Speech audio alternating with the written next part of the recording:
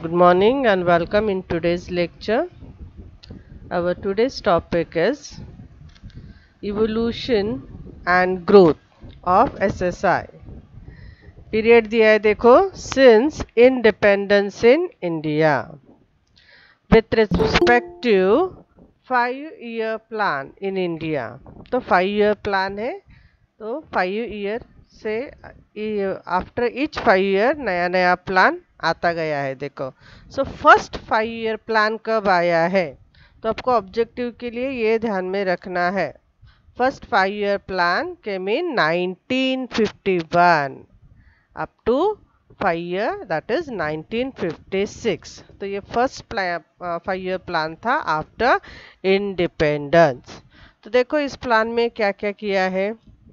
During the plan period new centres for small scale production new centre open किए गए then small skill centre को facilities provide करने के steps लिए गए, जैसे कि फाइनेंस प्रोवाइड करना है research and training to small skill sector then various boards establish किए गए to assist and advise small scale industries as well as formulation of policies and programme ठीक तो उसमें टोटल ये कितना था budget the outlay on village in small scale industry was amounted to 42 crore which was 2.14 percent okay so first five year plan में 42 crore ही है ना let me see in book yes ठीक है तो ये फ़र्स्ट फाइव ईयर प्लान था then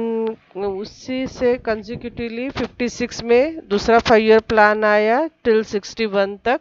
उसमें क्या किया गया देखो, हर प्लान का स्पेसिफिकेशन आपको मालूम होना चाहिए, क्या न्यू आया है उस प्लान में ओके तो थ्री टायर ऑर्गेनाइजेशन डेवलप हुआ था। तो थ्री टायर ऑर्गेनाइजेशन क्या है देखो? Ministry of commerce and industry ये एक हो गया। Then state department of industries ये दूसरा हो गया। एंड थर्ड है state board of industries okay तो थ्री टायर ऑर्गेनाइजेशन डेवलप किया गया। To strengthen the state department of industries okay so the coordination अब ये थ्री टायर है तो थ्री डिफरेंट डिपार्टमेंट्स है। तो coordination committees were set up in almost all the states and offices were appointed at blocks and district level तो देखो नए नए प्रोग्राम्स सेटअप किए गए to create confidence in the mind of small scale entrepreneurs confidence किससे related चाहिए था? कि स्मॉल स्केल इंडस्ट्रीज़ के अंडर जो भी प्रोडक्शन किया जाएगा तो उसको मार्केट डेफिनेटली मिलेगा। एश्योरेंस दिया गया कि आप प्रोडक्शन करते रहो मार्केट अवेलेबल होगा ही डेफिनेटली ठीक है? देन यहाँ पे और एक मेंशन किया है, देखो certain varieties of items were reserved for the production of small scale industry. तो ये जो 1956 एंड 61 का जो पीरियड था तो उसमें ऑब्वियसली सर्टन प्रोडक्शन का या मैन्युफैक्चरिंग का रिजर्वेशन ही रखा गया और वो उसमें लार्ज स्केल इंडस्ट्रीज़ उस टाइप का बिज़नेस नहीं कर सकती है। तो वो अवेलेबल कहाँ रहेगा? ओनली स्मॉल स्केल इंडस्ट्रीज़ के पास। तो इन शॉर्ट तो वो मोनोपोली ही रहता है तो उनको मार्केट अवेलेबल होता ही है के सर्टन आइटम्स जो है उसका प्रोडक्शन रिज़र्व रखा गया था। स्मॉल स्केल इंडस्ट्रीज़ को प्रोटेक्शन प्रोवाइड करने के लिए। नेक्स्ट है थर्ड फाइव ईयर प्लान वो 61 से लेकर 66 तक। देखो कंजिक्यूटिवली आ रहा है हाँ। देन यहाँ पे क्या नया दिख रहा है बच्चों? एम्प्लॉयमेंट अपॉर्चुनिटीज़ हो गया। ये अमाउंट स्पेंड किया गया है। Organisation programmes promotion of small scale industries के लिए employment opportunities was given on full time basis okay तो यहाँ पे एम्प्लॉयमेंट जनरेट हुआ है। Then fourth five year plan है। अभी थर्ड एंड फोर्थ में आपको दिखेगा कि यहाँ पे हमें थ्री ईयर का गैप दिख रहा है। ओके तो ये भी ध्यान में रखो कि फोर्थ प्लान ईयर का पीरियड कैसे काउंट करना है। थर्ड के बाद थ्री ईयर का गैप रखोगे फोर्थ फाइव ईयर प्लान आपको आ जाएगा। तो मेन ऑब्जेक्टिव क्या है? To correct regional imbalances okay तो रीजनल इम्बैलेंस क्या है? वही अर्बन एरिया डेवलप्ड है रूरल एरिया अंडर डेवलप्ड है बैकवर्ड ही रह गया। तो ये रीजनल इम्बैलेंस है, उसको करेक्ट करना।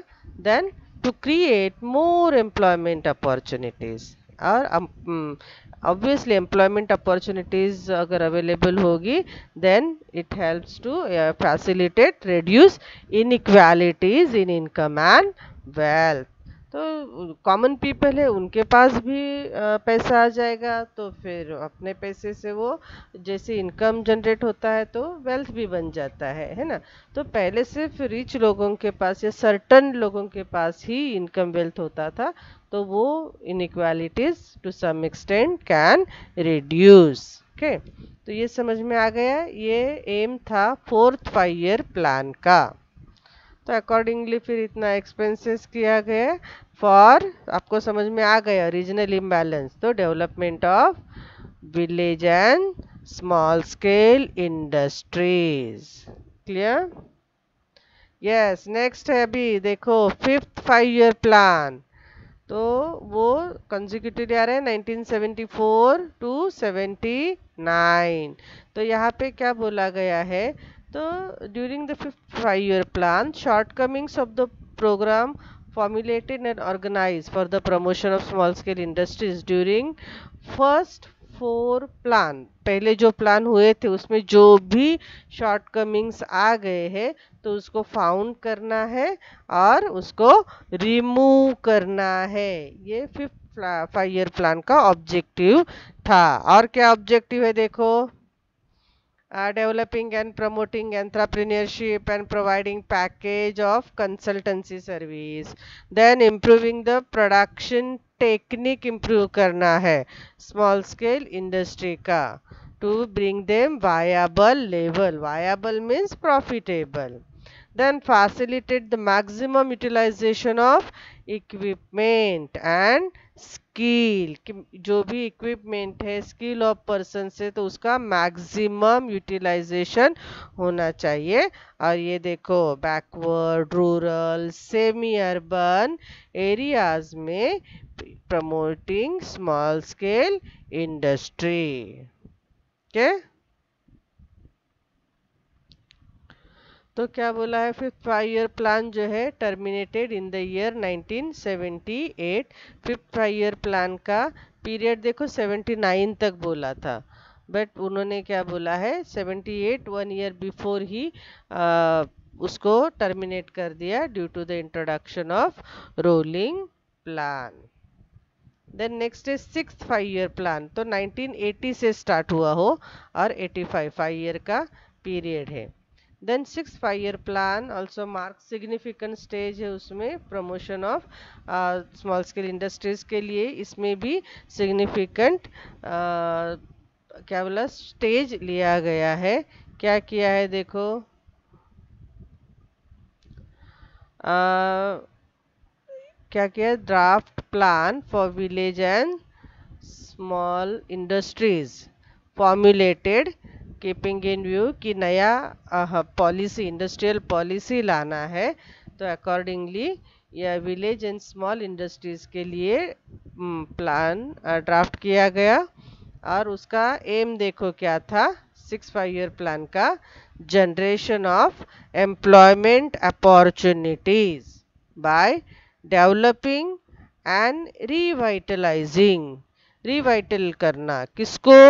एग्जिस्टिंग स्मॉल स्केल इंडस्ट्रीज़ तो जो इंडस्ट्रीज़ बंद पड़ गई है सिक इंडस्ट्रीज़ है तो उनको रिवाइटल करना और डेवलप करना।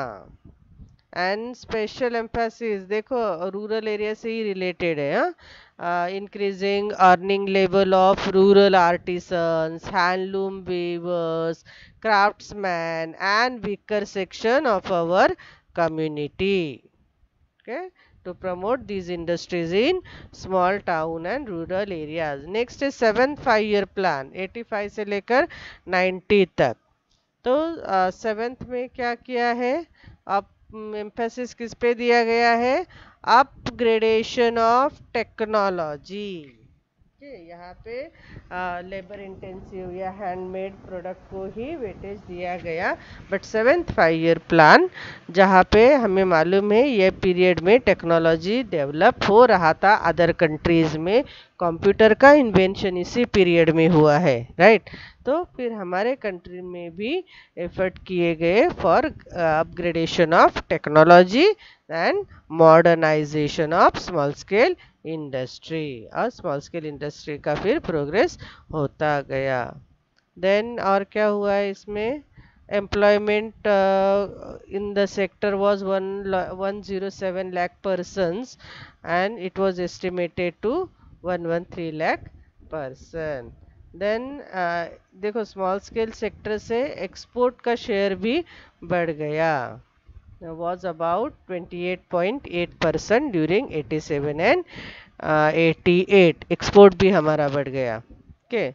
अब ये 92 का पीरियड है जहाँ पे निप पॉलिसी भी इंट्रोड्यूस हुआ है और कंप्यूटर टेक्नोलॉजी भी अडॉप्ट किया गया है। एट फाइव ईयर प्लान तो देखो इतना अमाउंट अलॉट किया गया है village and small scale industries तो अमाउंट यही बोला गया है कि अभी तक तो थ्री डिजिट में ही था अभी ये फोर्थ डिजिट में आ गया है तो लार्ज अमाउंट स्पेंड कर गया स्पेंड किया है। But in proportion of the total expenditure in the plan it is negligible then amount barely 1.46 percent uh, of the eighth plan and the share came from uh, 1.45 percent in the seventh plan okay तो यहाँ पे eight plan में जो total expenditure small scale and village industries को allot किया गया है वो फोर uh, डिजिट में है six thousand three thirty four crore then ninth five year plan क्या है देखो? नाइन्थ फाइव ईयर प्लान में क्या गया क्या कहा गया है? Which is slightly lower than the amount allotted at से कम है ऐसा बोला गया है Uh, besides plan uh, resources, quite a large investment has taken place on private uh, account financed party by government financial uh, institutions and part uh, from promoters own financial and non-financial resources. देखो plan resource besides plan resources large investment वो has taken place on private private account finance party तो large investment आया है by government financial institution से and from promoters own financial and non financial resources तो आपको ये मालूम है निप पॉलिसी आया है तो आ, वही एलपीजी पॉलिसी कि प्राइवेट पार्टीज़ का भी अभी एंट्री हो गया है। पहले तो सिर्फ़ गवर्नमेंट के लिए ही रिज़र्व था बट अभी प्राइवेट पार्टीज़ का भी एंट्री हो गया है। Okay then tenth five year plan का पीरियड देखो 2002 से लेकर 2007 तक है। ओके देन uh, यहाँ पे क्या हो गया है steps taken to alleviate the problem of SSI तो एसएसआई के जो भी प्रॉब्लम्स है वो रिमूव करने के लिए स्टेप्स लिया गया है. देन uh, देखो यहाँ पे अपना नीप पॉलिसी स्टार्ट हो गया है. तो जो गवर्नमेंट का मोनोपोली था तो प्राइवेट पार्टीज़ को अलाउ कर दिया है. नंबर ऑफ़ रिज़र्व आइटम्स कितने थे? सिक्स सेवन फाइव तो सिर्फ़ अभी कितने रह गए? One one four. बाकी सब प्राइवेट पार्टीज़ को अलाउ कर दिया। देन सीलिंग ऑन इन्वेस्ट जो देखो हमने जो डेफिनेशन पढ़ा ना स्मॉल स्केल इंडस्ट्रीज़ का तो वो regarding investment in plant and machinery तो वो जो सीलिंग था कि इतना ही इन्वेस्टमेंट होना चाहिए, तभी स्मॉल स्केल इंडस्ट्रीज़ बोला जाएगा। तो वो सीलिंग था, वो बढ़ा दिया गया। Three crore two five crore का investment in plant and machinery बोला गया ओके एज पर द ये देखो M S M E act में बोलते ना M S M E micro small and medium enterprise act 2006 okay then eleven five year plan है. इलेवन फाइव ईयर प्लान में क्या किया है, अगर देखो to improve competitiveness of M S M Es scheme for for establishment of mini tool rooms setting up of design clinics and providing marketing support should be innovated on ppp public private partnership okay तो again there is create employment पे भी focus किया गया ओके तो next है twelfth five year plan तो 2017 तक का है 2012 से लेकर ट्वेल्थ फाइव ईयर प्लान में देखो और क्या क्या ऐड हो गया है in small scale industries sector तो उसमें क्या बोला गया है कि important recommendations to make MSME sector vital part of country's growth MSME sector जो है तो कंट्री के ग्रोथ में वाइटल क्रूशियल पार्ट होना चाहिए, इसीलिए सर्टेन रिकमेंडेशंस किए गए। और ये जो सेक्टर है इट इज़ ब्लेन मिक्सचर है ट्रेडिशन एंड मॉडर्न का with informal sector enterprise then next क्या है? Process of liberalisation and global market integration open the opportunities for the sector as well as new challenges तो यहाँ पे देखो पूरा summary दिया गया है। कितना expenditure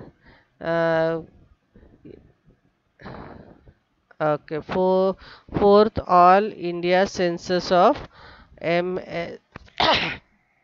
msme तो टोटल एक्सपेंडिचर वो सब उसमें एम्प्लॉयमेंट जनरेट कितना हुआ है? तो ये इकोनॉमिक सेंसस 2005 का रिपोर्ट है। सोर्स है annual report 2014-15 ministry of micro small medium enterprise now ये देखो S S I support mechanism in India तो एस एस आई को स्मॉल स्केल सेक्टर को कौन सा मैकेनिज्म सपोर्ट करता है? या फिर क्या बोलेंगे? Institution supporting small scale industries central level के इंस्टीट्यूशन से ये सारे सेंट्रल लेवल के इंस्टीट्यूशन से small scale industries board Khadi and village industries commission small industries development organisation national small industries corporation ये सेंट्रल लेवल के हैं देन स्टेट लेवल के ये directorate of industries district industries centre state financial then other agencies है. Okay now we will see central level institutions but तो central level institutions कौन कौन से हैं जो स्मॉल स्केल इंडस्ट्रीज़ को सपोर्ट करते हैं? तो देखो S S I board small scale industries board तो ये जो बोर्ड है एस एस आई का, वो कभी एस्टेब्लिश किया गया 1954 में। क्यों? To facilitate coordination and inter institutional linkages जो डिफरेंट डिफरेंट बोर्ड बन गए थे ना, अभी हमने देखा ना कि उसको कोऑर्डिनेट करने के लिए और बोर्ड बनाए गए। तो ये उसमें का एक बोर्ड है small scale industries board central level का बोर्ड है। तो जो भी डेवलपमेंट के लिए जो भी फैसिलिटीज़ अवेलेबल किया गया है जो भी थ्री टायर सिस्टम इस्टेब्लिश किया गया है तो उसमें कोऑर्डिनेशन होना चाहिए। और इंटर इंस्टीट्यूशन में भी लिंक होना चाहिए। इसीलिए ये सेंट्रल लेवल का बोर्ड एस्टैब्लिश किया गया है इन 1954 में। The board is an apex advisory body तो ये अपेक्स मतलब? अपेक्स किसको बोलते हैं हम? यस स्टूडेंट अपेक्स किसको बोलते हैं? ये अपेक्स बॉडी है। मीन्स व्हाट टॉप बॉडी है ना? तो टॉप बॉडी है किस रिगार्डिंग एडवाइजरी एडवाइज या एडवाइजरी प्रोवाइड करती है body constitute to render advice to the government किसको एडवाइस प्रोवाइड करना है? टू दी गवर्नमेंट रिगार्डिंग किससे regarding issues pertaining to small scale industries sector तो देखो, ये किससे रिलेटेड एडवाइजरी करेंगे? Policies and programme small scale industries को कौन से टाइप के policies programme then development of industries in any specific region कौन से रीजन में इंडस्ट्रीज़ सेटअप करना चाहिए? Ancillary development quality improvement marketing assistance then credit facilities taxation modernisation and industrial sickness तो इससे रिलेटेड गवर्नमेंट को रिकमेंड करने के लिए स्मॉल स्केल इंडस्ट्रीज़ का एरिया है कि जहाँ पे डेवलपमेंट ज़रूरी है। तो इससे रिगार्डिंग रिकमेंडेशन ये जो बोर्ड है गवर्नमेंट को करेगा। देन दूसरा है सेंट्रल लेवल का बॉडी है देखो, Khadi and village industries commission okay तो खादी तो आपको मालूम है, ये वूवन वूवन ऑन हैंडलूम ये जो क्लोथ है, हाथ से हैंडलूम से वूवन किया जाता है, क्या बोलते हैं उसको बुना जाता है है ना? Woven on handlooms in India from cotton, silk या फिर woollen yarn hands handspun और from mixture of any two कोई क्लोथ होता है, प्योर कॉटन का होता है, कोई क्लोथ मिक्स होता है, cotton silk silk woollen, cotton woollen, ऐसा मिक्सचर भी होता है। तो जो हैंडलूम से बुना जाता है, उसको खादी बोलते हैं। तो खादी और विलेज इंडस्ट्रीज़ का कमीशन सेटअप किया गया है। ये स्टैचूटरी ऑर्गेनाइजेशन है, okay? Statutory means set up by law statutory organisation है engaged in the task of promoting and developing khadi and village industries और एम क्या है कि एम्प्लॉयमेंट अपॉर्चुनिटीज़ रूरल एरियाज़ में डेवलप हो और रूरल इकोनॉमी स्ट्रांग हो जाए ओके? तो देखो objective providing employment economic objective है saleable producing saleable articles sale हो जाए ऐसे आर्टिकल बनाओ तो uh, पैसा मिलेगा that is economic objective then wider objective है है कि सेल्फ रिलायंस अपने लिए अपने रीजन uh, में खुद अगर कपड़ा बनाते हैं तो सेल्फ रिलायंस भी है building up strong rural economy तो ये सारे फ़ंक्शंस है खादी के. तो आप इसको रीड करो बाद में हाँ? सेम अभी जो हमने रीड किया है, उसी से रिगार्डिंग है जस्ट एक्सप्लेनेटरी फॉर्म में।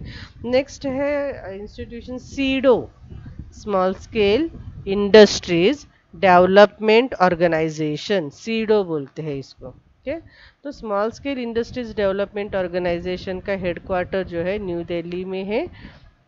और उसका जो चेयरमैन है हेडेड बाय डेवलपमेंट कमिश्नर। तो ये क्या बोला है? आ, कैसे फंक्शनिंग करता है? Network of small industries service institute extension centre and training centre one in each state और ये क्या है? It is a coordinating between different states union ministers planning commission S B I R B I etcetera okay तो देखो क्या क्या services SIDO provide करता है टू एडवाइस प्रॉस्पेक्टिव एंट्रप्रीनियर्स जो एंट्रप्रीनियर बनना चाहते हैं ना, उनको एडवाइस किया जाता है रिगार्डिंग किससे regarding setting up of new small scale enterprises machine का चॉइस कैसे करना है? डिज़ाइन कैसे करना है? फैब्रिकेशन का layout and installation and operation of machines then in the economic survey conduct करना in particular industries and areas then market survey करना और स्मॉल स्केल मैन्युफैक्चरर्स को असिस्ट करना इन डिटरमाइनिंग डिस्ट्रीब्यूशन सेंटर अपना प्रोडक्ट कहाँ distribute करना है, उससे रिलेटेड उनको असिस्ट करना। देन एक कॉन्टैक्ट भी इस्टेब्लिश करना। डीलर्स के साथ होलसेलर एंड रिटेल डीलर्स के साथ। Then to act an information centre prepare publications भी करना including model scheme and answer enquiries for economic and commercial information और एडवाइस करना process then to demonstrate the use of modern technical process उसका demo करना, उनको workshop वो सब organise करके देन रिसर्च कैरी करना and train small industrialist then next organisation है देखो N S I C national small industries corporation ये सेटअप हुआ है 1955 में। तो सेंट्रल गवर्नमेंट का अंडरटेकिंग है और इसका एम है to fulfil the requirement of machinery and equipment देखो एम याद रखो। fulfillment of requirement of machinery and equipment for development of small scale industries okay? तो ये पढ़ो आप आ, इसके स्कीम्स ये सब। देन नेक्स्ट इंस्टीट्यूशन है the national science and technology entrepreneurship development board इसका शॉर्ट फॉर्म क्या है देखो? N S T technology entrepreneurship E D B development board तो ये क्यों? It is an institution to help promote knowledge driven and technology enterprise knowledge driven and technology का use हो, ऐसा एंटरप्राइज प्रमोट करना। के उसके नाम में ही टेक्नोलॉजी है, देखो। National science and technology entrepreneurship development to develop and promote high end entrepreneurship high end entrepreneurship for an science and technology man power as well as self employment okay to facilitate and conduct various information and uh, service relating to promotion of uh, entrepreneurship then to act as a policy advisory body entrepreneurship related uh, policy या फिर क्या क्या undertake करते training programmes है institutional mechanism है for entrepreneurship development then next body ये देखो national productivity council N P C national productivity council तो ये ऑटोनॉमस इंस्टीट्यूशन है are functioning under under overall supervision of ministry of industry government of India ministry of industry के under ये functioning करता है। इसका ऑब्जेक्टिव है नेशनल प्रोडक्टिविटी काउंसिल का to act as a catalyst in enhancing productivity of all sectors of the economy जो economy के जितने सारे सेक्टर्स है इंडस्ट्री एंड एग्रीकल्चर इंक्लूडिंग तो उनका प्रोडक्टिविटी एनहांस करना। So N N P C productivity से रिलेटेड है तो ऑब्जेक्टिव भी प्रोडक्टिविटी एनहांस करना है, देखो। N P C is active in the field of consultancy and training okay then क्या क्या सर्विसेज़ प्रोवाइड करते हैं? देखो train youth and prospective entrepreneurs undertake market survey, develop data bank for providing information, selection and modernization of process, assist entrepreneurs in payment of loan भी provide करते हैं या small scale industries को कैसे assist करते हैं उनके एम्प्लॉयज़ को ट्रेनिंग प्रोवाइड करते हैं existing enterprises in improving their productivity training employees को ट्रेनिंग भी देते हैं कंसल्टेंसी भी प्रोवाइड करते हैं और प्रोडक्टिविटी इम्प्रूव करते हैं। नेक्स्ट है देखो national institute for small industries extension and training तो नाम से ही पता चलता है उनका ऑब्जेक्टिव क्या है? बट आप एक बार रीड करोगे, तभी आपको पता चलेगा कि ये किसी इंस्टीट्यूशन का या ऑर्गेनाइजेशन का नाम है okay so it was set up in 1950s in Hyderabad तो आपको ऑब्जेक्टिव में पूछा जाएगा कि ऑब्जेक्टिव ये बहुत सारे चार नाम दिए जाएँगे, और हैदराबाद में कौन सा सेटअप हुआ है राइट right? तो आपको ये आना चाहिए।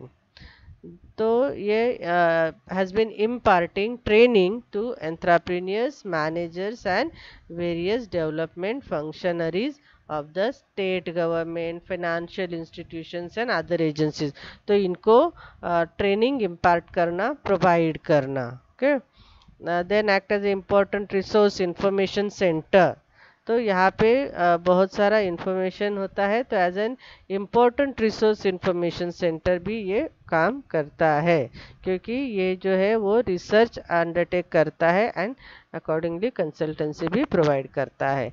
नेक्स्ट है NIESBUD national institute NIESBUD national institute for entrepreneurship and SBUD means small business development. BU for business, small business development. Okay so ये एस्टेब्लिश किया है गवर्नमेंट ऑफ़ इंडिया ने एज एन अपेक्स बॉडी है ये for coordinating and overseeing the activities of various institutions other institution के activities पे supervision करने के लिए ये अपेक्स बॉडी गवर्नमेंट ने एस्टेब्लिश किया है इसका ऑब्जेक्टिव क्या है देखो टू हेल्प और support institution in carrying out activities relating to entrepreneurship development. Then to accelerate the process of entrepreneurship. Entrepreneurship का प्रोसेस एक्सेलरेट करने के लिए, बढ़ाने के लिए. To provide vital information support to trainers to evolve standardised process selection and training selection training का standardise process मतलब हर ऑर्गेनाइजेशन के लिए सेम टाइप का सिलेक्शन एंड ट्रेनिंग प्रोसेस होना चाहिए। तो ये सारे फ़ंक्शंस ऑफ़ निस्बर्ड है ये आप बाद में रीड करो ओके देन नेक्स्ट है I I E Indian institute of entrepreneurship तो ये आई आई ई है, वो इस्टेब्लिश हुआ है 1993 और इसका एम क्या है? Training research consultancy okay and these are the various objectives अभी जो हमने पढ़ा उसी से रिलेटेड है. Training research and consultancy and the tenth one है, जो सेंट्रल गवर्नमेंट का लास्ट बॉडी है टेंथ बॉडी दिया था ना उन्होंने अभी लिस्ट में. वो टेंथ है ये entrepreneurship development E D double I entrepreneurship development institute of India तो ये 83 1983 में सेटअप किया गया एंट्रप्रेन्योरशिप डेवलपमेंट के लिए। और उसको स्पॉन्सर्ड किसने किया है? देखो IDBI IFCI ICICI SBI and government of Gujarat okay तो ये आपको ध्यान में रखना है। आपको ये भी ऑब्जेक्टिव में आ सकता है कि गवर्नमेंट ऑफ़ गुजरात ने किस, कौन सा इंस्टीट्यूट या कौन से बॉडी को असिस्ट किया है? ओके तो क्या बोला है? लास्ट डिकेड में इंस्टीट्यूशन ने ट्रिमेंडस इम्पैक्ट हुआ है एंट्रप्रेन्योरशिप डेवलपमेंट का and has organise programmes even at far places far places पे भी उन्होंने वेरियस प्रोग्राम ऑर्गेनाइज किए हैं। कौन से है वो far places like Port Blair है, केरला है, गोवा है, हरियाणा है। तो यहाँ पे भी उन्होंने प्रोग्राम किए हैं। It conducts research training and institution building activities for encouraging the participation of backward region and special target group groups in entrepreneurship तो देखो इसमें क्या क्या है? सिलेक्टिंग पोटेंशियल एंट्राप्रीनियर्स है। हम बोलते हैं ना प्रोग्राम किए तो प्रोग्राम में क्या क्या है? देखो सिलेक्टिंग पोटेंशियल एंट्राप्रीनियर्स है, उनको सिलेक्ट करना, उनको प्रोडक्ट सिलेक्शन कौन सा प्रोडक्ट प्रोड्यूस करना चाहिए पर्टिकुलर रीजन में। तो product selection and project report भी प्रिपरेशन करते हैं वो लोग। देन ट्रेनिंग प्रोवाइड करती है बिज़नेस कैसा मैनेज करना है। देन मोटिवेशन ट्रेनिंग भी प्रोवाइड करते हैं। देन वर्क एक्सपीरियंस भी दिया जाता है partial training and work experience वो पार्ट टाइम जॉब बोलते हैं ना तो पार्शियल ट्रेनिंग भी होता है और उनको वर्क एक्सपीरियंस भी मिल जाता है। या फिर अप्रेंटिसशिप होता है कि आप जॉब भी करते हो ट्रेनिंग भी करते हो, है ना? Then post training support and follow the programme organised by EDIT are the Uh, largest and most comprehensive, best organized and most successful entrepreneurship development uh, program in the country. So thus we have finished our part 1 from uh, chapter 1 and for today we sum up with this and thank you students.